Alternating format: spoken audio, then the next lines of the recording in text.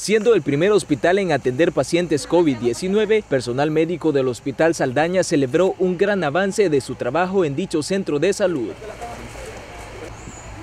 Una alta y esperanzadora cifra de pacientes han sido dados de alta en ese lugar. Para nosotros una alegría totalmente eh, este día que el Hospital Saldaña se encuentra cumpliendo ya 800 pacientes recuperados en el contexto de la pandemia de COVID.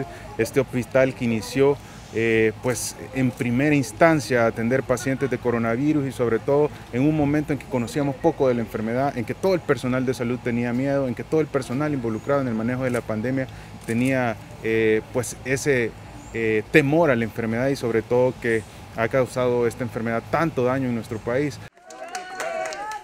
Los héroes de blanco que trabajan en ese hospital aseguraron que recibieron apoyo en todo momento para que su trabajo tuviera buenos resultados no teníamos una UCI, ¿verdad? Y hoy tenemos ocho camas para UCI con todos los ventiladores. También tenemos un área de pediatría en donde se han hecho como cabinas, ¿verdad? En donde el personal este de enfermería se puede eh, proteger mejor.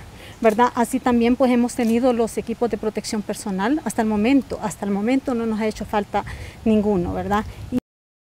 Pero no fue el único lugar que se llenó de alegría. El Hospital San Rafael reportó ocho recuperados, contabilizando hasta la fecha 513 salvadoreños que han ganado la batalla. Y el Hospital El Salvador no se quedó atrás. Dimos cerca de 20 altas, 20 pacientes recuperados de COVID, 20 pacientes que van a sus casas con sus familias a seguir el tratamiento, a seguir las indicaciones para que en un tiempo prudencial puedan reincorporarse a su vida normal. El objetivo de todo esto siempre es dar la mejor atención al paciente, que el paciente salga recuperado, que vaya a casa con su familia. Cada paciente que es recuperado para nosotros es un éxito.